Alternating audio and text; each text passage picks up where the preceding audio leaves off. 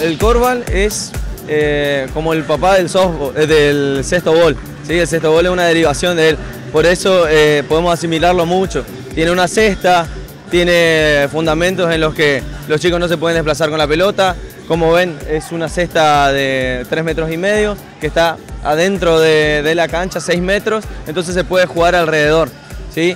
Lo particular y más importante de este deporte que es mixto por reglamento. ¿Qué quiere decir esto? Es que, no existe un equipo masculino o un equipo femenino. ¿sí? sí o sí es un equipo 8, 4 hombres y 4 mujeres.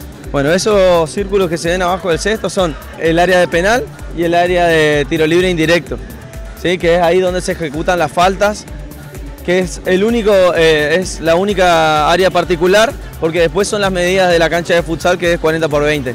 Se puede lanzar de cualquier punto de la cancha, tiene un lanzamiento y una entrada en dos tiempos como lo es en el básquet, entonces eso permite que pueda entrar en una pasada o solamente lanzar de cualquier lado de la cancha, siempre y cuando esté del lado del ataque, que es de mitad de cancha para adelante. Una de las cosas que tiene es que, por ejemplo, los cuatro que, atacan solamente pueden estar hasta mitad de cancha del ataque, no pueden pasar a defender, ¿sí? Y viceversa los defensores. Y cada dos puntos en el partido se cambia, o sea, puede ser 1 eh, a 1 o 2 a 0 y se, van, se cambian. Dos puntos, defensa va a ataque, ataque va a defensa. La verdad que está muy bueno porque es algo innovador y es algo que incluye a ambos sexos, que en, en, en, lo que es hoy la sociedad es muy importante incluir y demostrar la igualdad de géneros.